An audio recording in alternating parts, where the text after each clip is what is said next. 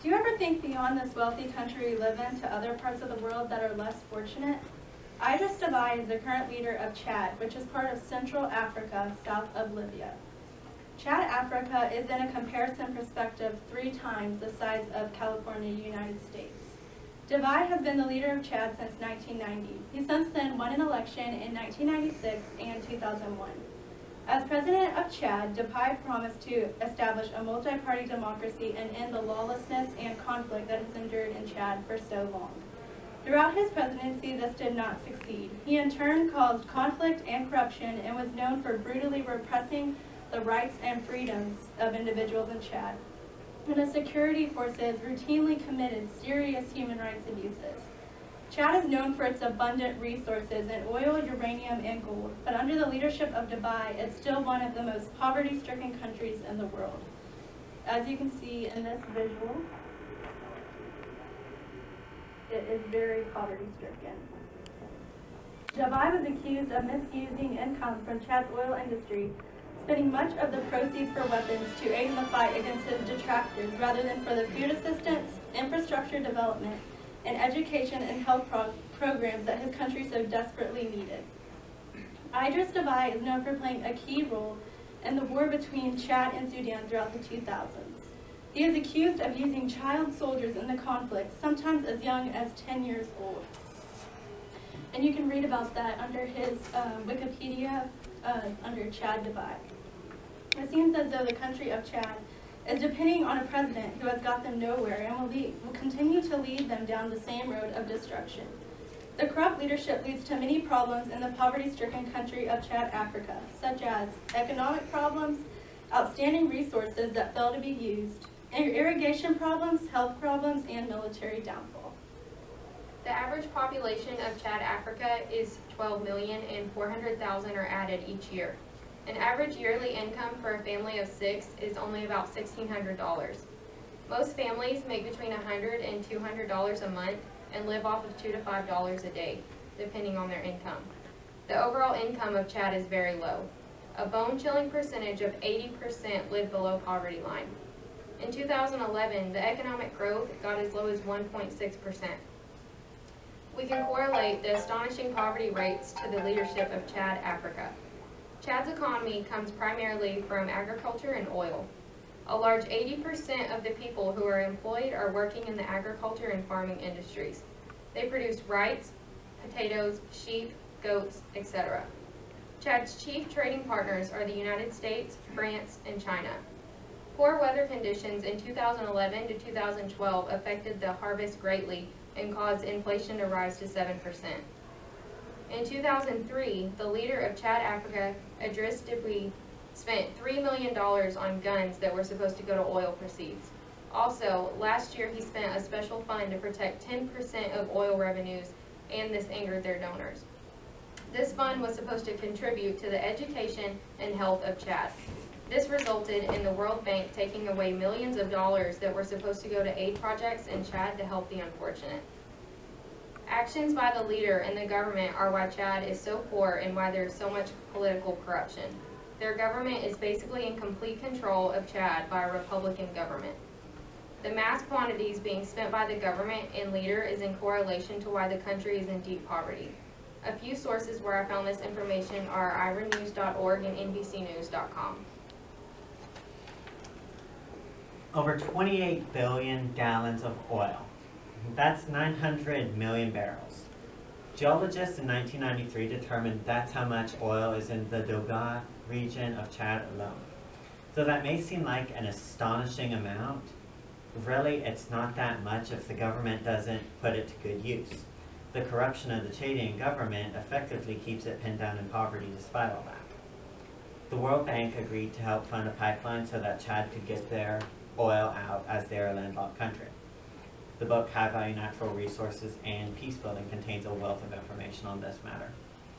In 1999, the Petroleum Revenue Management Law 001 had passed through Parliament, meeting the World Bank's criteria of setting down a plan for oil revenue spending and creating an oversight committee. Roughly 85% of the revenue was to be spent on various poverty aids in Chad, while the remaining 15% was fair game. I have here a pie chart describing that. This little piece is what the government was supposed to be using. Well, everything else was supposed to be going to poverty alleviation. But by 2005, the government was already making plans to alter the law. After a face-off where the oil minister threatened to cut off oil production, the World Bank banked under pressure and they loosened the requirements for oil spending, effectively ending their deal.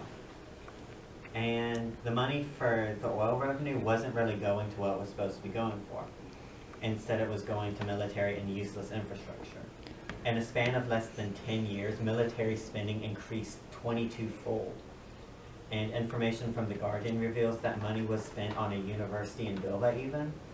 That might seem like a good thing, but it's a town of 50,000 people and only 6,000 people per year pass the entry exam. And then there were some other useless infrastructure such as a 25,000 seat sports stadium. Over 900 million barrels of oil and still millions of people left in the dust. The broken promises made by the government and the useless spending are only two examples of how corruption in the government has kept Chad from pulling itself together. They might be able to do a better job if they had a better leader. The Republic of Chad has a shortage of water. The water that they do have is contaminated. The citizens of this country are lacking in clean water, and unfortunately, the water that they find isn't as clean as the water that we as Americans drink. According to UNICEF.org, only 48% of urban residents have access to water, and only 2% to basic sanitation. This problem of contaminated water is a result of poor leadership within the Republic of Chad because of the country not having an economical abundance. Thankfully, there are organizations that help. Since there is poor leadership, the Republic of Chad's focus isn't on the quality or the quantity of water. Of course, with Chad being the seventh poorest country in the world, it is a difficult economical problem that results in the citizens of Chad to not be able to afford water. There are organizations like UNICEF that have made it possible for some areas of Chad to obtain access to sanitized water. There are now wells that these citizens can go to, and they're able to get clean water to drink or use for other miscellaneous purposes, like washing clothes or doing the dishes. Other reasons that Chad has to undergo these difficult circumstances of not having sanitized water is because of its country's political corruption on the nation economically. These countries, this country's leaders don't contribute money to sanitize their scarce or dirty water. Thankfully, countries around the world are helping to provide a means for these citizens to have access to clean water. But even then, the country still has a difficult time being able to afford drinkable water because of the leadership of the country not contributing. As a poor economic uh, system, uh, Chad is one of the poor uh, country in the world. Almost 80% of the people uh, li- live under the poverty, uh, poverty line. Uh, that's why due to shortage of food, water, and adult and children education, they always suffer from malnutrition. In fact, even after they become ill, they visit the doctor in rare cases. The, when people are educated, they, they know what to do in the situation, but corrupted people doesn't care about education. Only about 40% of the children, ages 5 to 15, goes to school in Chad. Unfortunately, all of the uh, all of the 40% doesn't complete their education in time uh, or at all.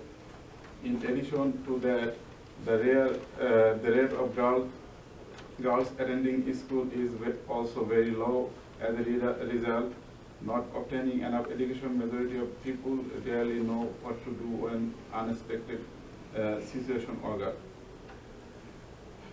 In Chad, there is only one doctor uh, for, for every 244,000 people. In fact, the corrupted government spent only 3% of its total budget on health issues. In, in addition to that, there is uh, less than one qualified health worker per 1,000 people. As a result, there is not enough hospital to take care of thousands of unfortunate patients. The, uh, according to the UNICEF, there is like more than 5% HIV uh, patient in Chad, and they have they have enough resource, but uh, the corruption uh, corruption led the whole nation to the poor and unhealthy. Chad maintains a powerful Chad maintains a powerful military, but instead of using it for handling their armed conflicts, they use it for their military diplomacy. One example of this military diplomacy would be a few years ago when France needed Chad's military support in Mali. Chad agreed to this, but only on the condition that France would ignore some bad policies held by the Chadian government.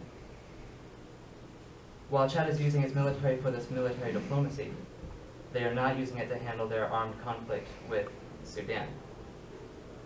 Chad has decided it does not like the Sudanese president, and they want him gone. But instead of just dealing with it or sending their own military to overthrow him, they have decided to fund rebels in Sudan. And in turn, Sudan has funded rebels in Chad. The most notable of these rebels are the Janjaweeds. The Human Rights Watch has paid very close attention to these Janjaweeds, and has reported that they routinely attack civilian targets, and sometimes even with helicopter gunships. A UN report found that child soldiers are not only among the rebel groups, but among Chad's own military as well. That same UN report brought to light instances of rape and other sexual violence carried out by the Chad military, sometimes even against children. This leaves the people without a protector.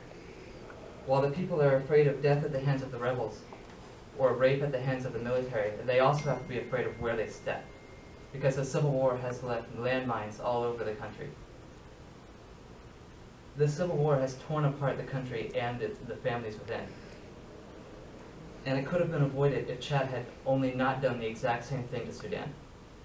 But it will continue so long as Chad continues to use its military diplomacy to avoid these issues from being addressed internationally.